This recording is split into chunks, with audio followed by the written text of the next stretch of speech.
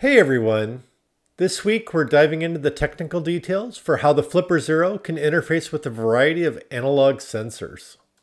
In this video, we're going to look at interfacing the Flipper Zero with sensors that vary by resistance, sensors that are center tapped, high impedance sensors that have much greater than 10 kiloohms of resistance, and sensors that vary the output voltage. On our Flipper Zero, we'll look at which six GPIO pins support reading analog voltages, and then we'll learn how to install the example program that shows the voltages on those pins. In a future video, we'll look at how to write your own Flipper Zero programs to read analog sensors. Let's get started. In previous videos, we looked at how the Flipper communicates with sensors that use I2C, SPI, and other digital protocols to communicate a particular value.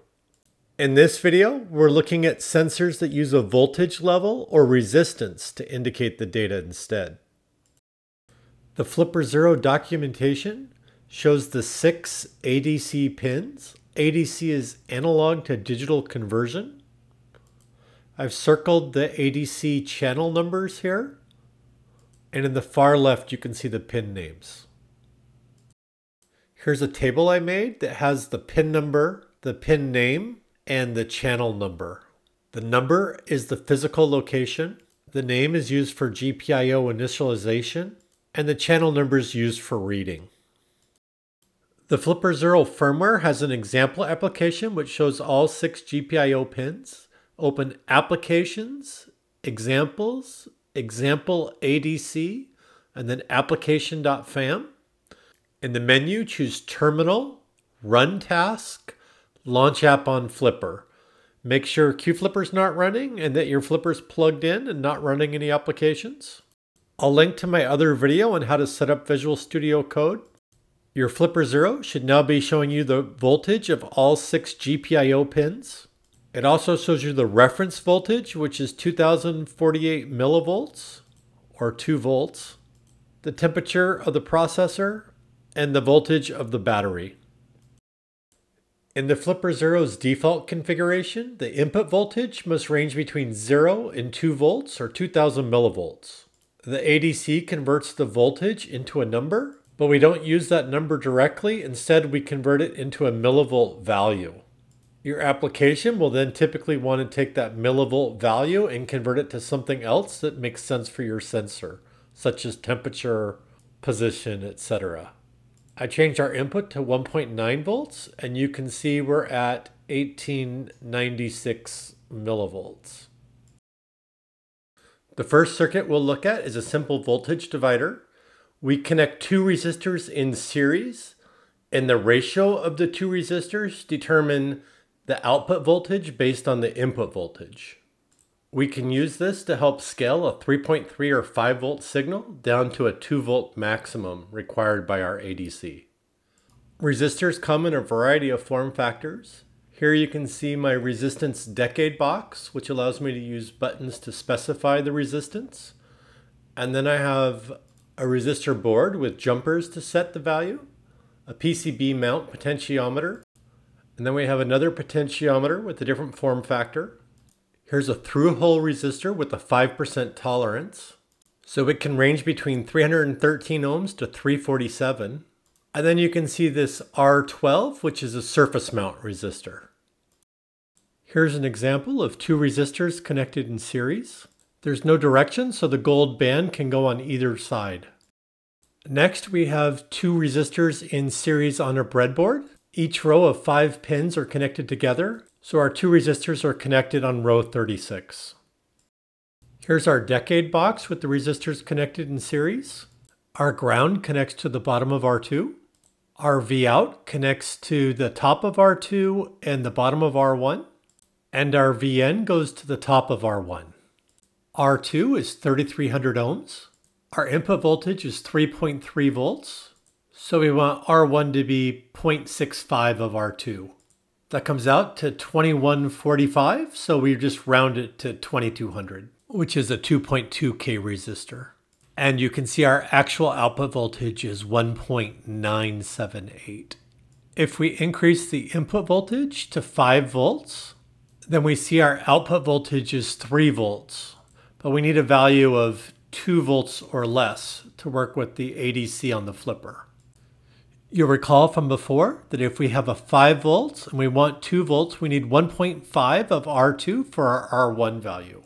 So we'll swap our resistors around, and for R2, we'll set the value to 2200. And then for R1, we'll set the value to 3300. And 2200 times 1.5 is 3300, so those values. And you can see our output voltage is now 2 volts. I switched to 220 and 330. We're using unnecessary current. Let's switch to 2.2K and 3.3K. Now we still have 2 volts, but we're not using that current. If we use 22K and 33K, we'll still have 2 volts, but the flipper circuitry may impact the value that gets read. And I'll continue doing this with my meter here. And so now we're doing the ratio again. You can see we're still at 1.97. And now even my own meter is starting to impact the resistance. And instead of 2 volts, it's reading low at 1.78. When we're using the flipper to measure voltage, the ADC would like it if we had a value between 1K and 10K total. I've connected our sensor's power and ground to our flipper's 3.3 and ground wires and the ground of R2 goes to the ground on my flipper. We'll connect the output of our sensor, which is a 0 to 3.3 volt output, and we'll put that to the top of R1. We have those two resistors in series, so we'll take the V out from our two resistors, and we'll connect it to pin A7 on our flipper. So we see we're at 117 millivolts. I'll pull out my happy birthday candle and we'll light it. And our voltage drops to 70 millivolts. I'll go ahead and blow out the candle. Okay, that was perfect timing. The screen turned off at the same time. Sorry about that. Let's light the candle again. Okay, we're at 60-ish millivolts now. I'll blow out the candle again. And we're at 117. Okay, next we have a magnetic sensor. So I'll pull out the flame sensor and we'll put in a magnetic sensor, which also gives 0 to 3.3 volts out. That output voltage is going into our resistors, dropping it down to a value between 0 and 2 volts. And we see we're at 842 millivolts. Now I'll go ahead and put a magnet near the sensor and you can see that voltage changes slightly as the magnet approaches. There we go. It's 700 and now it's 800. 7, 8. If I flip it around, we should get a little higher value. There we go. And higher. There you go. Next, let's look at how potentiometers work. As we turn the potentiometer dial, on the back, you can see this rotating disc. These pins press against the disc and they connect to that middle pole. Our ground pin is basically connected. This is all zero resistance. And then we have this resistive material here, which uh, varies by the potentiometer. And then at the end, you can see our third pin connects to that conductive material as well. This particular potentiometer is one mega ohm. So right now we would be at 1 mega ohm, and as we return it, we'd keep reducing that resistance until we're finally at 0 ohms. So now that you know how potentiometers work, here's another potentiometer, and this one is 300 ohm instead of a 1 mega ohm. It's 300 ohms. So 300 ohms means it's 300 ohms between this first and third pin. And as we turn the value, the resistance on that center pin will change between uh, the 300 ohms. So 0.65 times 300 is 195. Um, but I have a 330 ohm Radio Shack resistor that's been sitting in my drawer forever. Uh, so we're going to go ahead and use that instead. I tried wiring it on camera, but everything fell on the floor. So let me explain it. We have our ground going to ground, going to our ground pin on our potentiometer. We have the white A7 pin going over to our center of our potentiometer. We have the red 3.3 going to this 330 ohm resistor. And on the other side of the 330 ohm resistor is going to our potentiometer. Again, the math said uh, 200 ohms would be best, but we're using 330 for this part. It just means we don't have the full range of voltages. Hopefully you can see the voltage on the screen. And as we turn the knob, the voltages are changing. So you can see 1550 and 33 is the lowest I'm able to get. Next, I'll try to set a value of 256 millivolts. Uh, so pretending that the user wanted to pick a particular value. Okay, and we're at 254, which is pretty close. Your app might choose to divide the millivolts by 5 or 10 to give a little less granularity. Next, I'll demo that 1 mega ohm potentiometer, and then we'll look at the circuit. As I turn the pot, you'll notice the voltage is changing.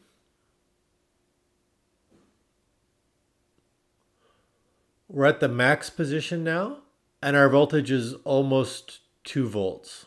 And as I turn in the other direction, you can see the voltage is decreasing, and we're decreasing almost down to 0 volts.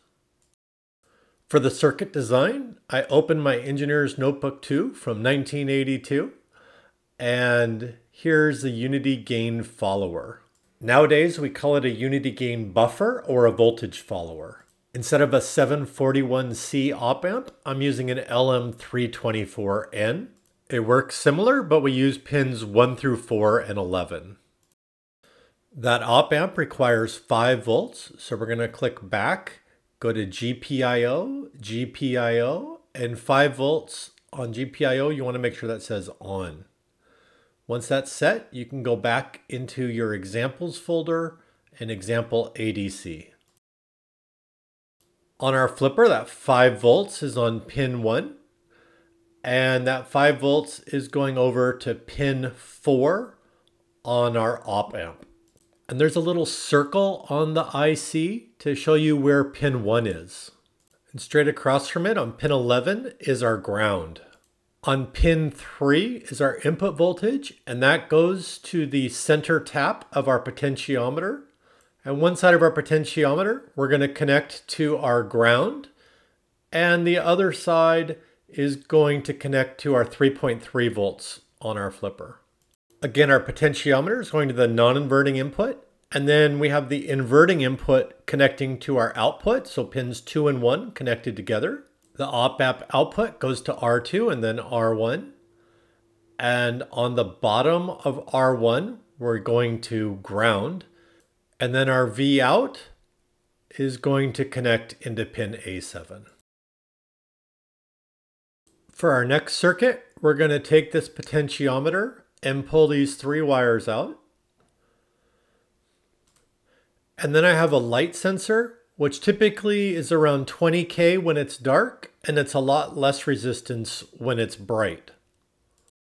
So we'll go ahead and attach that between our positive and our V out. And then next I have some 22k ohm resistors.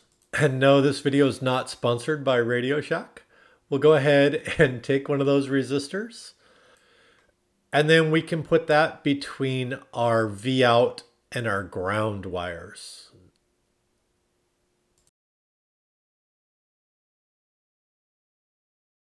And as it gets darker, our voltage drops.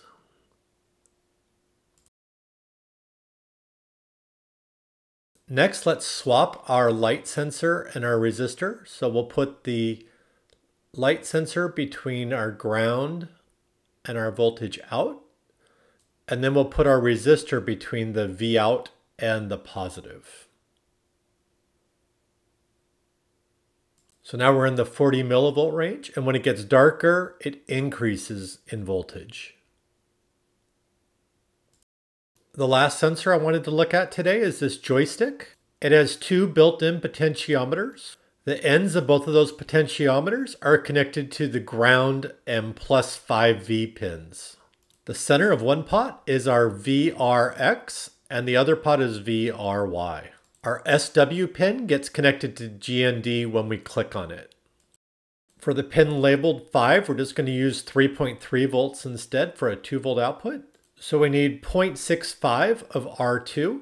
When we measure R2, we get 5K, which means we'll use a 3.3K resistor between our plus 5 and our 3.3 pin on the flipper. So our R1 is a 3.3K and it's a 5K for our R2. We'll go ahead and plug the joystick in. X is A7, Y is A6, and switch is A4. So now you can see those voltages. And as we go, we connected the output of our joystick to A7, A6, and A4 on our flipper. And you can see as we move the stick, there's A6, there's A7, and when I click it, there's A4. Thanks again for watching this video. Now you know how to use resistors in series to convert a 3.3 or 5 volt down to 2 volts.